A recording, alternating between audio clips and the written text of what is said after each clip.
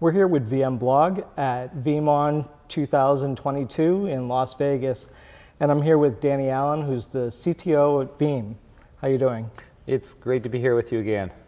Um, well, we're here day two, and we've had an exciting keynote. Um, maybe you can tell us a, a, little bit about what you talked about in the keynote related to the new features coming out in uh, version 12. Yeah, everyone gets excited by version 12, of course, and there are so many features now. We focused in on four different areas with it. We focused in on uh, disaster recovery as a service. We have the ability now to do CDP to the cloud, and we have a lot of customers, of course, that want that. The second thing we focused on was sending data into object storage directly without going through block storage. And so if you're at a remote you know, robo location, you can send data to the cloud, or if you're using object storage on premises, you can send your data there. The third thing we showed was full integration with Kubernetes, with um, the and K10 product so that you have a central management plane now for physical, for virtual, for cloud, and for all of your clusters and nodes, wherever they happen to be.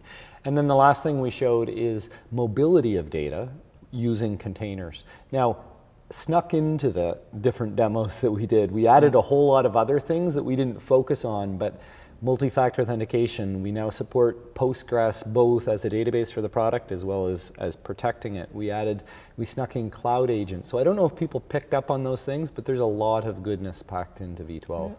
And when's the uh, projected release date for that? Well, we're targeting the second half of this year. Um, we're now in beta 2, so we go through this process of beta 1, it's about six months prior to release, and then beta 2, which is kind of the final polished version where we're ironing everything out. And then usually it's you know anywhere from three to four months after that that we go GA but what we've been telling people is the second half of this year.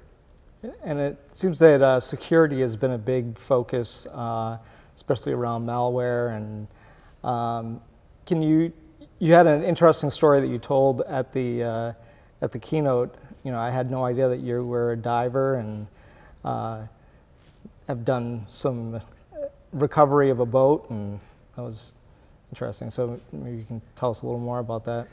Yeah, so I was just tying in the concept. We, I look for shipwrecks in my free time. I've actually found over a dozen different shipwrecks, but this particular one was the last U.S. Navy warship sunk in the Atlantic Ocean in World War II.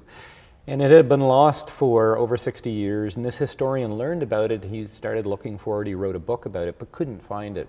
And so we leveraged data, and actually the data, interestingly, was 15 years old, but we figured out a way to find that shipwreck using data. So always fascinating to me how we can use data to solve big problems like that. Another area that was a big focus was uh, ransomware.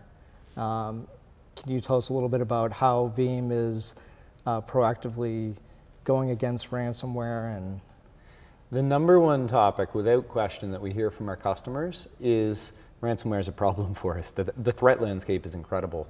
Um, and so we have, over the last five years, been adding capability after capability after capability around this. And I always align it to what is known as the NIST cybersecurity framework, which is really five different categories. It's identify all of your assets, protect those assets, um, detect and monitor for any anomalous behavior. You should have a recovery plan in place, and then you need to be able to restore.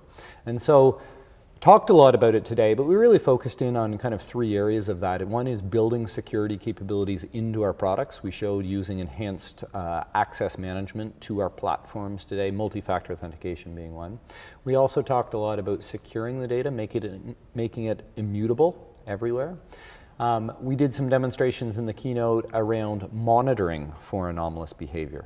Um, so looking at things like memory usage and CPU usage and looking at data change rates because we have a lot of capability, not just in backing up data, but monitoring the data flows across the organization. And then lastly, we showed, okay, great, you were hit by ransomware, now what? And so we have a product, Veeam Disaster Recovery Orchestrator, that allows customers to recover at scale because ransomware, we just did a study actually. When you get hit by ransomware, 40%, 47% of your data is encrypted on average. That's what we've been told by a thousand professionals. Right. And so we enable customers to recover at scale from ransomware using our products. And I think you also said that uh, there's a lot of companies that don't even, they, they're never able to get their data back, right? It's shocking to me how many organizations aren't able to get their data back. And I think one of the challenges that we have We learned in that study that only 16% of organizations actually test their data for recoverability. So that's not a good number. One of the things that we have to do is educate the market on the need, the essential need for the recovery of data. Now, interestingly, of those that were encrypted, there was a small percentage that were able to recover without paying the ransom, but, but very, very small. And I guess uh, maybe you can tell us about the future for Veeam. Uh, you know, where are you guys going and what direction uh, over the next year? Well, there's no question that data is exploding everywhere. So on premises, in the cloud, Kubernetes, SaaS services. And we think there's a lot of runway for us to continue to grow the business. We've been growing over 20% year over year in Q1, last year, the year before. We think there's still a lot of runway to do data protection because data itself is increasing in magnitude. But the other area that we've been focusing on is doing more with the data, orchestrating recovery, analyzing that data.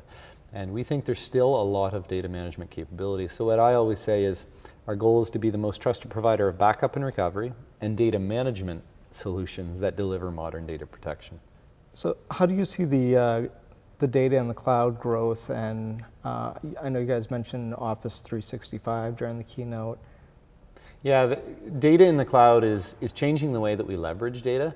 So one of the things I always highlight to people is that last year we sent 500 petabytes of data into the cloud. If you were to write that on CDs, that'd be two stacks of CDs that reach the International Space Station. That's crazy. This year, actually, we're going to move it, uh, an exabyte of data if we continue on the current trajectory. So the cloud is changing the way that people are storing data, but it's also changing the way that people are using data. We had a 420% increase last year in data protection of cloud-hosted workloads. But you asked specifically about Microsoft 365. We're up to now 11 million, over 11 million paid users of Microsoft 365, and we're just scratching the surface. Microsoft just recently, at the end of last year, said there was 270 million daily users.